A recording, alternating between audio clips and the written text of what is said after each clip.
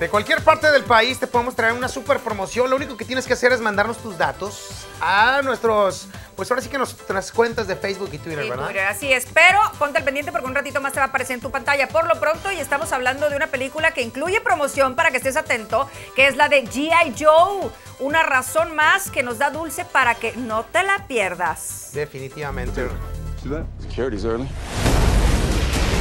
Recordarán que G.I. Joe Retaliation estaba programada para estrenar en junio del año pasado, pero como ya estarás enterado, decidieron cambiar el estreno hasta este 29 de marzo. Pero todo es culpa de un solo hombre, y ese hombre resulta ser el hombre más sexy del mundo. Sí.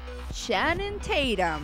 La explicación oficial fue que los productores decidieron agregar una tecnología 3D a la cinta, pero luego de una función de testeo en el que se presentó la película y la muerte temprana del personaje de Shannon Tatum, quien en el guion original moría básicamente en los primeros minutos de la cinta, los realizadores notaron que acababan de cometer el peor error de la historia. Tuvieron que regresar al set con Shannon Tatum, agregando muchas más escenas al arco de su historia y básicamente esquivando una bala que de otro modo hubiera enterrado la secuela. Así es que el éxito de G.I. Joe ya lo podrán adelantar y habría que triplicar los espectadores si tomamos en cuenta que además están Dwayne Johnson, The Rock y Bruce Willis. Soy Dulce Osuna para En Vivo.